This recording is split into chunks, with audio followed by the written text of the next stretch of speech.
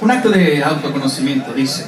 A la luz de los despechos A la sombra de vientres satisfechos Agobia un el placer Que solo me deja ver Salvar los pechos hacia lo que puedo ser. A la luz de los despechos A la sombra de todos los derechos. Esto es implicante ver Pienso volver a problemático. Tampoco muy atlético Digamos medio apático Con mal gusto no estético Algo menos dramático A veces muy hermético Y quise ser simpático Y resulté patético.